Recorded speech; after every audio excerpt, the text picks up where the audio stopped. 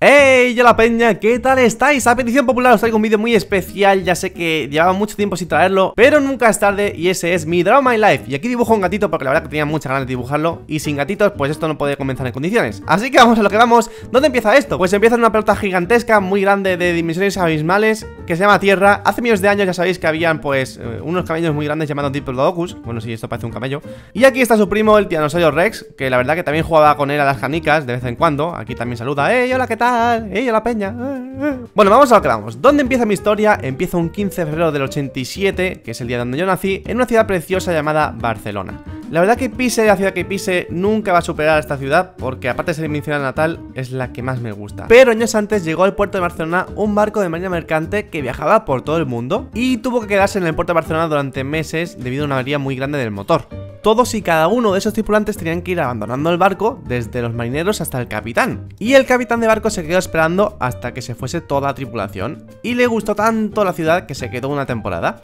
Le encantó la comida, la gente, los bailes, el buen rollo, el buen ambiente general que tiene España. Y aquí pues vemos cómo pasando los años, viendo que se ponía mucho el gorro de capitán, pues se quedó calvo. Y conoció una catalana muy hermosa, muy bella. Hicieron bailes Shakira, se casaron y efectivamente pues tuvieron a los años un hijo.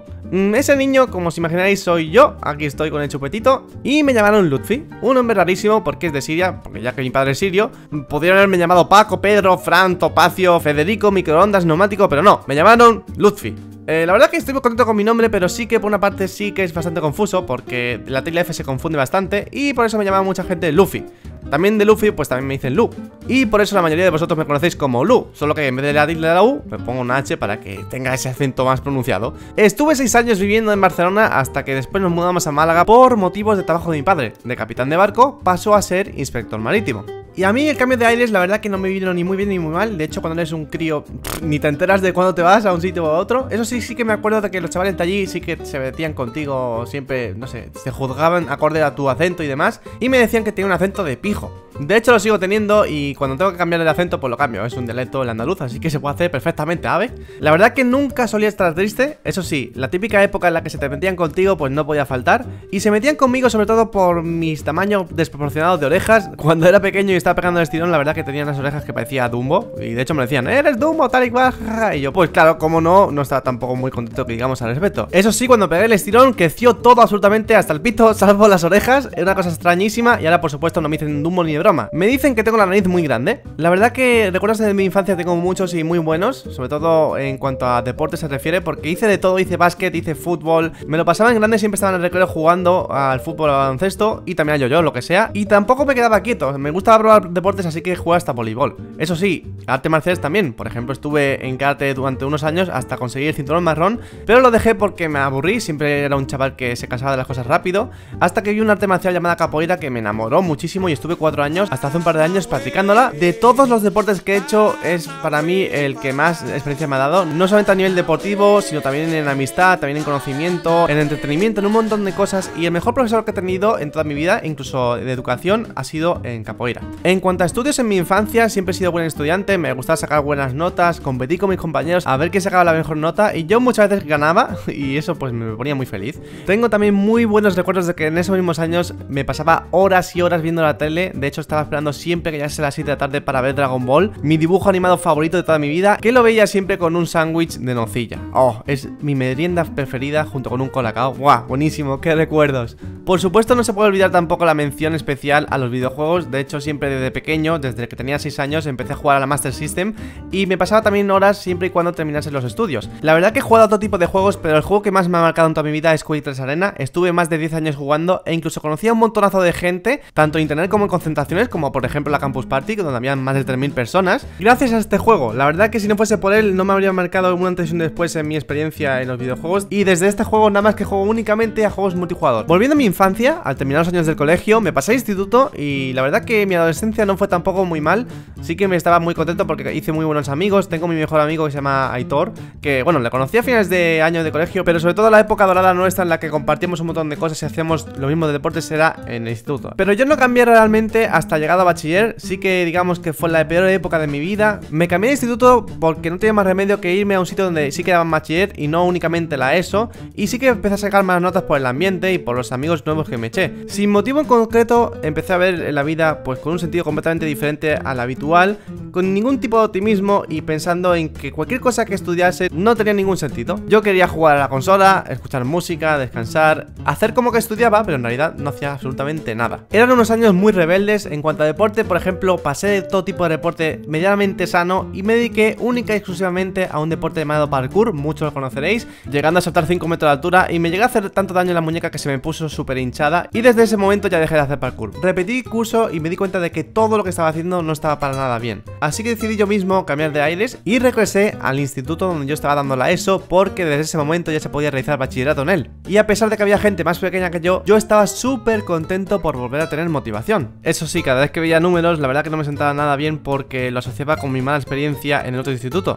aunque lo superaba. Lo mío eran los idiomas. Desde que tenía 8 años estuve recibiendo clases de inglés en una academia y pocos años después, en el mismo sitio, la persona me dijo que si yo quería trabajar con ella. Así que yo decidí que sí y durante dos años estuve de auxiliar en la academia de inglés. Me saqué títulos de inglés y desde hace 4 años ya estoy dándole clases particulares a niños, a sus casas y la verdad que bueno, tampoco que creo que se me dé tampoco muy mal. Los chavales están muy contentos de estar aprendiendo inglés y yo también estoy contentísimo porque estoy siendo yo mismo y estoy enseñando. Jamás me imaginé que pudiese enseñar nada a nadie. Y paralelamente a esto, yo también pensaba qué podía hacer cuando fuese mayor, supuestamente. Porque habían cosas que sí que me llamaban la atención y es que siempre he sentido gran debilidad por los anuncios, anuncios creativos y diferentes de grandes marcas. Así que empecé a investigar yo solo, de manera autodidacta, siempre he sido muy autodidacta, nociones de marketing, la teoría del color, mil historias relacionadas con el diseño, con la animación, que me encantaban y lo hacía como hobby paralelamente a los estudios de la ESO y de bachillerato. Y durante horas, probando, probando, intentando hacer cosas mejores desde internet, indagando por, bueno, esta página no, esta página es diferente, esta es para desconectar,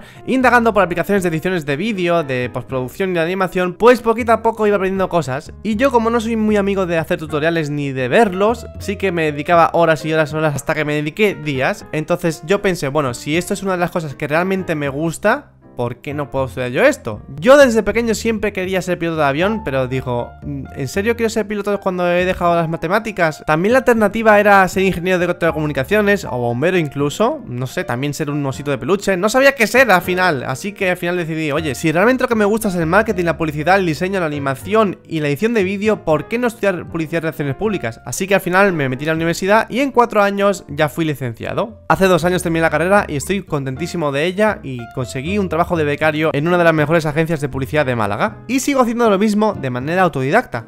También aparte de esto decir que soy una persona muy despistada, desde siempre me ha pasado hasta tal punto tener una manzana en mi mano y preguntarle a mi madre dónde estaba la manzana que le había pedido. O que por ejemplo se me activase mi cerebro reptiliano mientras estoy pensando en otras cosas y me iba perfectamente a la cocina a mear en la basura. O sea, una cosa súper extraña que nada más que parecía que me pasaba a mí.